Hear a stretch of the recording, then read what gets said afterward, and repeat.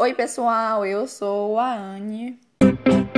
Quando meu canal chegar a 10 mil inscritos, eu vou fazer um sorteio e o prêmio vai ser um relógio, tá? Eu vou dar opções para o sorteado escolher o relógio. E tem mais, eu só vou comprar o relógio quando eu fizer o sorteio. Eu vou fazer o sorteio é, vou sortear um ganhador e o ganhador vai escolher o relógio e eu vou comprar o relógio que o ganhador escolher. Mas eu vou dar opções pro ganhador escolher o relógio, tá? E eu vou enviar para casa da pessoa, a pessoa não vai precisar pagar nada, nem frete, nem relógio, nem nada. É totalmente de graça. O que você vai precisar fazer é só se inscrever aqui no canal e quando ele chegar a 10 mil inscritos eu vou fazer o sorteio. Se você está cansado de entrar no YouTube toda vez ver os mesmos vídeos, ver o mesmo vídeo de música, eu vou te ensinar a impedir que o YouTube ele crie um perfil para você, que, que para cada pessoa ele cria um perfil. Então eu vou te ensinar como fazer para ele não criar esses perfis e você, e você vai poder ver vídeos variados. Você entra no YouTube aí pelo seu celular e provavelmente vai ser o mesmo passo a passo, tanto no celular quanto no computador. Não deve ter nenhuma mudança. Você vem aqui no seu perfil. Como para cada conta ele cria um perfil, né, de acordo com o vídeo que você vê, ele vai colocando só de acordo com o que você vê.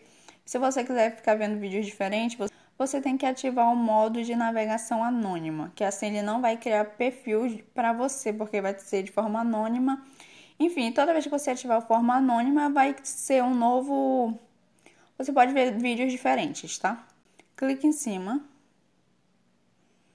E aqui vai te dar umas informações, mas preste atenção. Esse modo anônimo é tipo assim, só para ele não criar perfis para você ficar vendo mesmos vídeos. O que, que isso acontece? Ele não cria esse tipo de perfil, ele é tipo YouTube que não cria perfil. O YouTube normal, é, se anonimato, ele cria um perfil para você.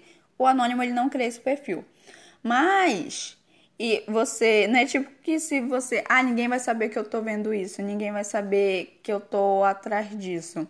Então, tem como saber sim, tá, meus amores? Tanto é que isso é falado aqui embaixo que pode ser que suas atividades ainda sejam visíveis para empresa, escola ou para o seu provedor de acesso à internet. Então fica de olho aí, tá?